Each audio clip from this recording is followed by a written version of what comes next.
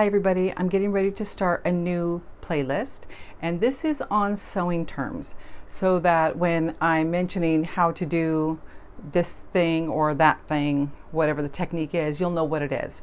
So I'm starting with A and I'm going to go all the way through the line. Now this is not going to be every single term.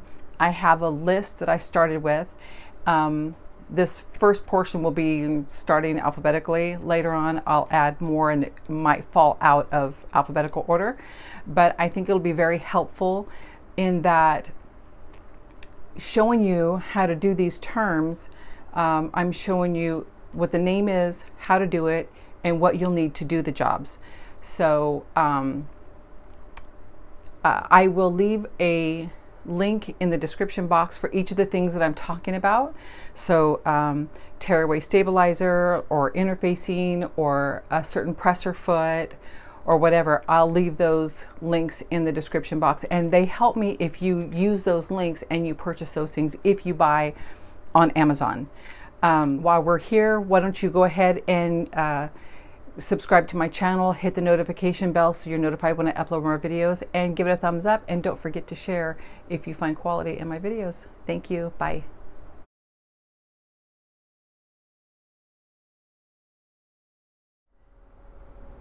Okay, for the first technique, which is appliquing, this is where you're going to want to set your needle.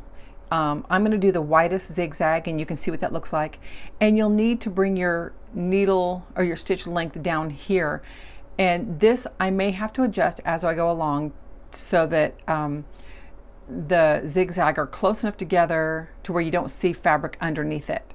And it'll kind of give it a look of like a ribbon on your, your project. When you do an applique, this is what you need. You need a, a tearaway stabilizer. Um, then you need your fabric that you're going to applique onto. And then you need your fabric that you're going to applique to the first fabric. Now you can do it like this and pin it around and then sew around it. Or I would recommend using Stitch Witchery. I don't have any on hand right now, but the the stuff I recommend comes in uh, a sheet or like on a bolt and you can find it in the fabric store with the interfacings and the uh, stabilizers and stuff and it will have a paper backing and one side will be like this stuff except I would for this right here obviously I would recommend white but I don't have any and I don't have a sheet so I'm going to use the roll so I'm just going to take this over to the ironing board and just um, ladies here and then press this down here and then we'll get to sewing. And for this project, you are going to use you're going to use this foot. Well, this is what I'm using. This is not um, an applique foot. An applique foot, instead of having this closed, it's like two prongs like this out here, but I don't have one. So I'm going to use this because it has a zigzag uh, hole there. So that's what I'm using. That's what I've always used. I used to do this years and years ago, 20 years ago, when I used to applique things on kids' clothes and sell them on eBay. So um, I'm going to go press this and I'll be right back. As I sew along, I am going to make the adjustments that I need and then I will explain what I'm doing.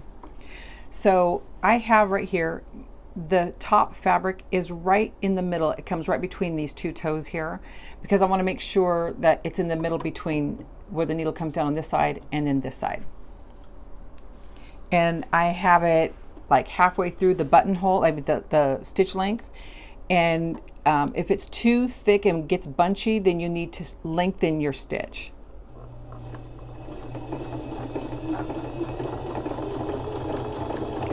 Now this one looks too wide because I can see the fabric underneath it.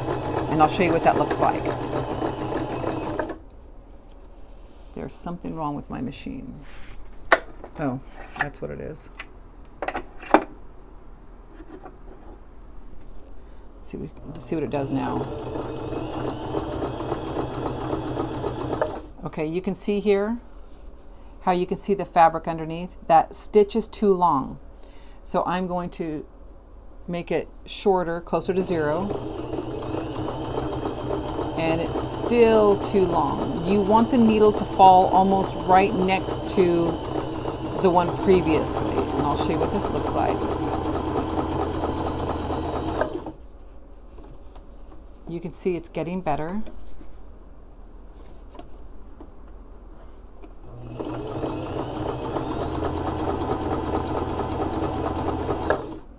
Try not to push your fabric through. Let the feed dogs do all the work.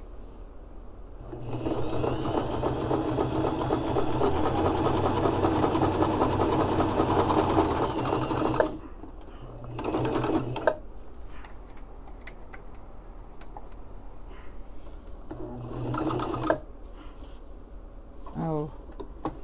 Okay, I had an issue. You could see where it was pulling tight right here and I knew something was hung up either on my uh, thread or my bobbin, and it was my bobbin. Um, as it was coming to the end, it was really loose, and it was the tension was off, and then it got kind of got caught up on something. So um, I had to stop and put a new bobbin in. And I'm not really concerned with the fact the color thread I'm using. I'm just showing you the technique. So we're going to start again here. And remember to let the feed dogs do the work.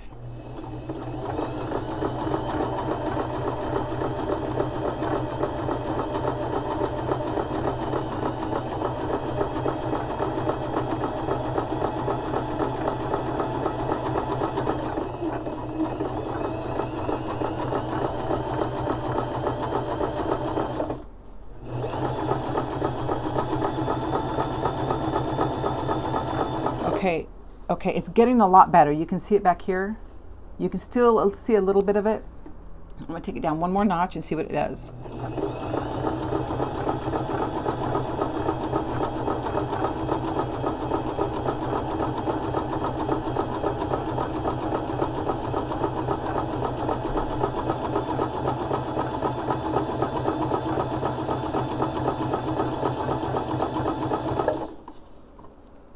Okay, so you can see right here, let me pull it out. Okay, this is where we started. And this right here, see that line down the middle? That's not supposed to be there. What happened was my thread was caught up in um, the bobbin, uh, uh, the, the spool. And so it was pulling too tight and it was changing everything. Look how pretty back there. Um, and then I shortened my thread stitch, shortened it, and then shortened it here. And that's when I had the issue with the bobbin. And then this was like one notch above the zero stitch length. And then I brought it down closer to the zero and this is what it looks like. And this is what it should look like. And you can even probably go a little bit smaller. Um, but you have to be careful that if it starts bunching, it's just going to create a, a, big lump here. So somewhere around the zero, and this is what it, my machine setting looks like. It's like literally right, like one notch in front of the zero, or maybe two notches. So that's what appliquing looks like. And then when you are done, you can just tear this off so you don't have it on the back. And that's a tearaway.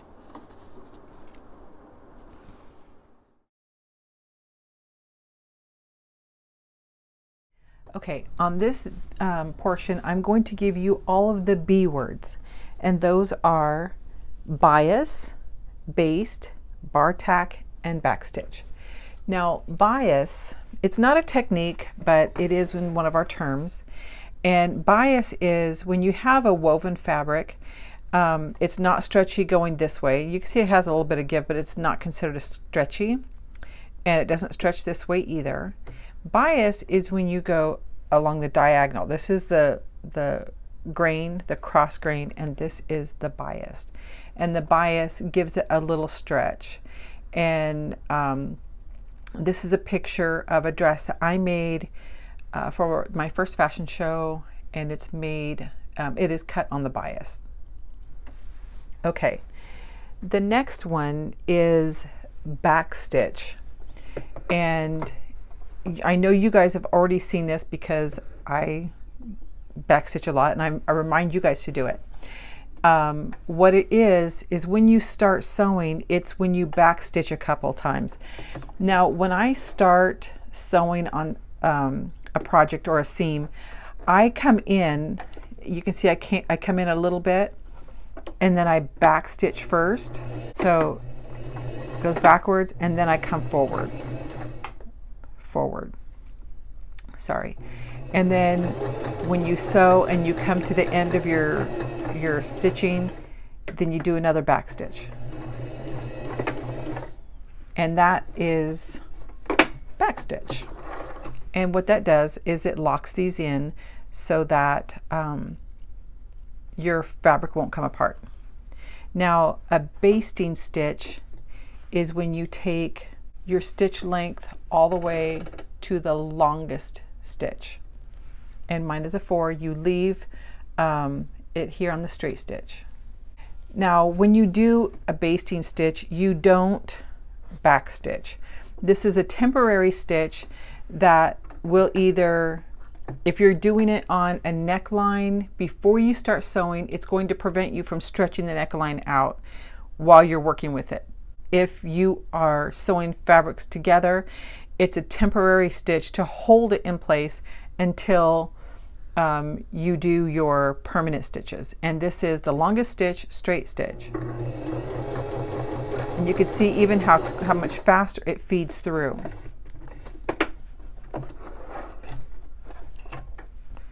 And that's what that looks like. And you can see the difference, the length difference. And when you're finished, you'll just take the back stitch, the back thread, and it just makes it so much easier to pull it all out. And you're done. I think Cheetah was talking. if you hear this dog, he cries and he wails like a banshee every single time his family leaves. So I leave my door open now so I can talk to him and he can come in my room if he wants to. So he's fine. I gave him a snack. I pet him and I talk to him, but he still wants his family. So now we're going to talk about um, a bar tack. And you'll find these at the bottom of pockets on belt loops, um, like on the side of your pockets, like denim, there's usually a little bar tack down there. Um, and it's the same stitch that you would use for um, a buttonhole, sorry. So this is what it is. It's going to be a narrow, I'm sorry, I'm trying to look through the phone and it doesn't really work. You want a narrow stitch and you want it very close together. So you want a short stitch and a narrow zigzag.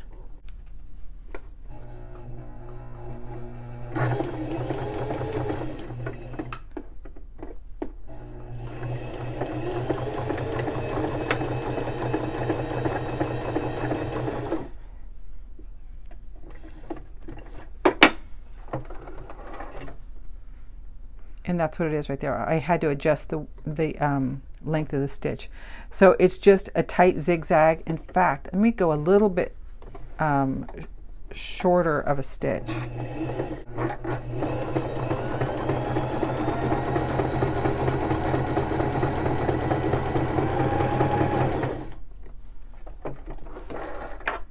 Okay, this one looks so much better.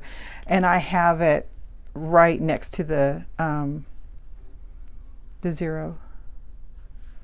So that's a narrow, like I said, it was a narrow zigzag here. And then look how close it is to the zero there. So that is a bar tack.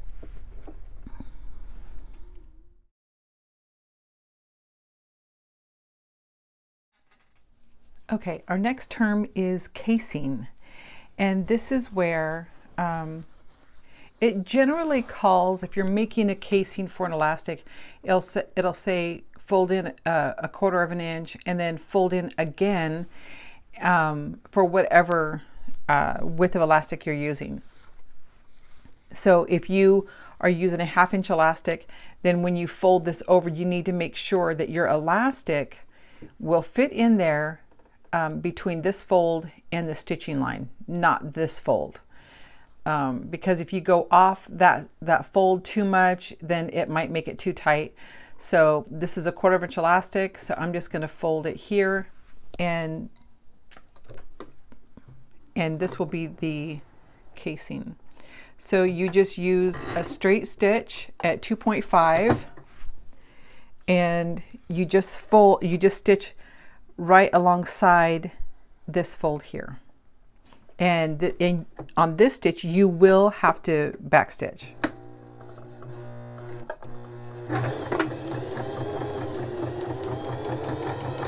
And I went off.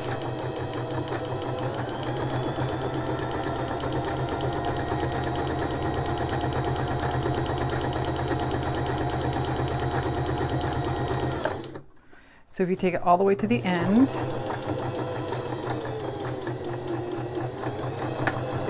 and back stitch again.